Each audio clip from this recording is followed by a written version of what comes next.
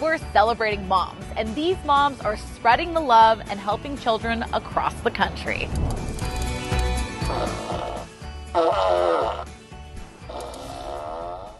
If that sound makes you laugh, quite all right. A flatulent baby duck is, well, funny. And that's the whole point of Andrew's Laughing Gas, a nonprofit started by Paul and Colleen Mercier. Laughter's the best medicine, they say, right? When you hear their story, you wouldn't think the Merciers would have much to laugh about. In December of 2019, they lost their 10 year old son Andrew to a rare form of leukemia. We did a story with him just seven months before, where you would never know what he was going through just by talking to him.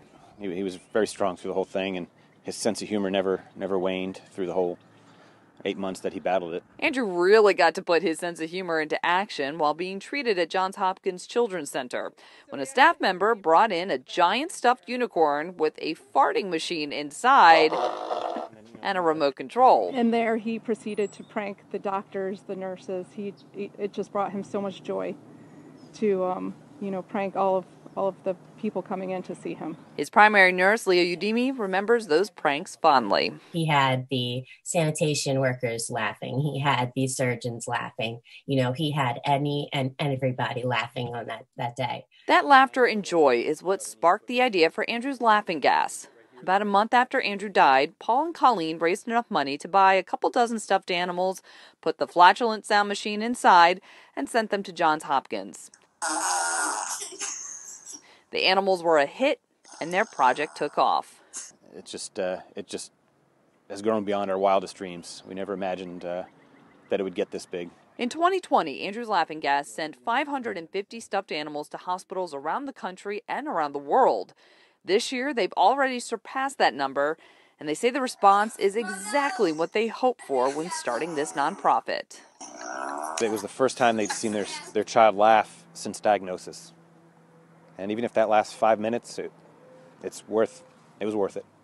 As the donations come in, these gassy stuffed animals go out, and Andrew is there in spirit, laughing right along with each child who receives this special and unique gift. He reminds me every day, you know, make this kid smile. If anything, today, make him laugh once. He always wanted that was his goal in life to be famous. um, and it, to think that he's famous for farting.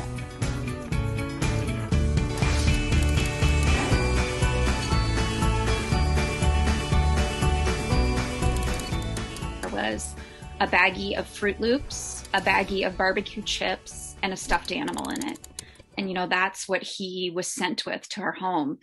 Um, and that's it. It's, it's just so raw and kind of right in your face that, you know, this is the reality for these kids. This is Natalie Hermans and husband Weston. They have four biological children and three foster children, two of which they hope to adopt very soon. Natalie says a fellow Anderson mom had these duffel bags and backpacks donated, but wanted to fill them with goodies for kids coming into care. So Natalie posted something on Facebook, and within 10 minutes, she says she had 60 responses from people ready to jump in and help.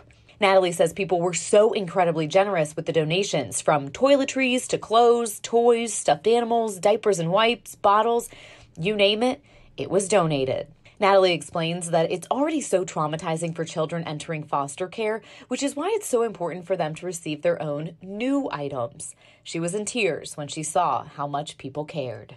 To know that the one shopping trip that they went on um, gave that child some hope and they're making a huge difference. And I wish it could be something we could record and they could see, but just letting those families know that what you did makes a huge impact. And if our community joins around these foster families and these foster kids, you know, we all can do something.